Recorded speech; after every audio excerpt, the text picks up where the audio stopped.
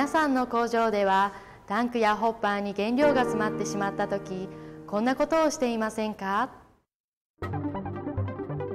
タンクから原料を出そうと装置をガンガン叩いてみたりあるいは何とかしようと人が棒でつついてみたり。こうした行為は働く人々にとって大変危険で事故のもとです。もちろん設備が壊れる原因にもなります。工場で扱われている粉や粒。これらは魔物です。設備の外から詰まっている現象は見えませんがタンクやホッパーの中でさまざまなトラブルを生じています。詰まる現象には主に4タイプの原因があります。ブリッジとはタンクの出口付近で貯蔵物が壁面に付着したり圧縮されたりして上からの流れを妨げてしまう現象です。タンクの出口が小さい場合はブリッジを起こしやすいため振動などを加えるとより一層詰まってしまいます。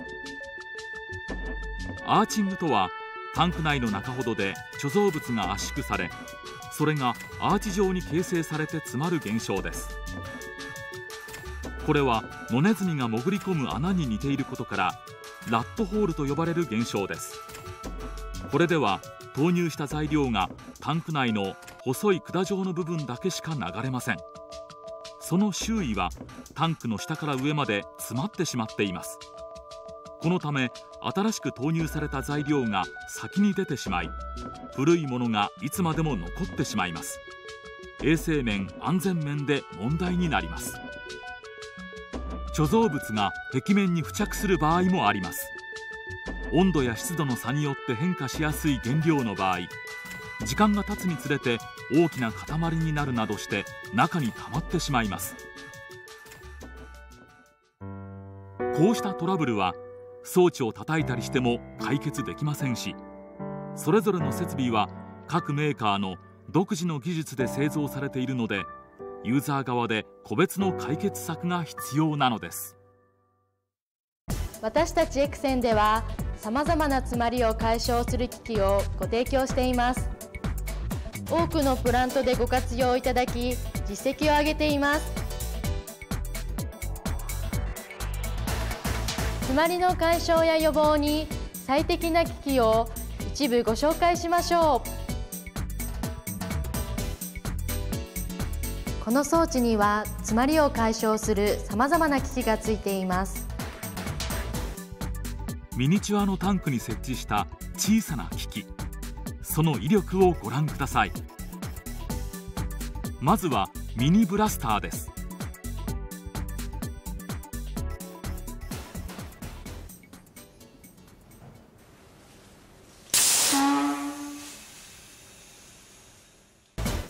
爆発的なエアーの力でトラブルを鮮やかに解消します。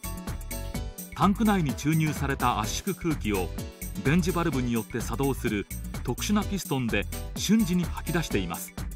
圧縮空気を使うので安全で運転経費もわずかで済みます。また耐久性に富んでおりメンテナンスも簡単です。ブラスターはさまざまなタイプをご用意しています。プラントの状況に合わせて大型のものから手に乗るほど小さなものまたツインブラスターなど各種が揃っています。次はリレーノッカーです。リレーノッカーは圧縮空気の力でピストンがベース面やタンクの壁面を勢いよく叩きその衝撃によって付着や詰まりを取り除くユニークな機器です。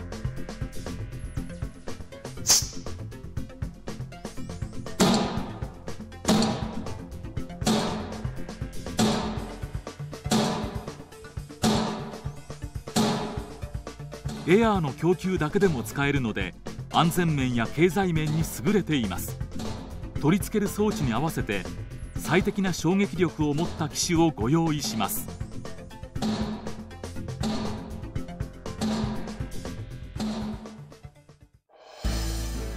これはピストンの上下運動によって詰まりを解消する小型のピストンバイブレーターです。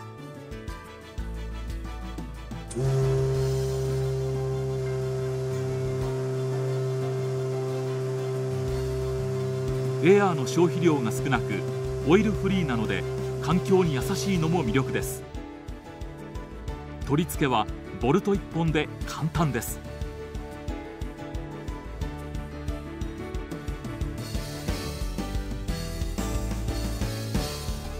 他にもさまざまな機種をご用意しております。お気軽にご相談ください。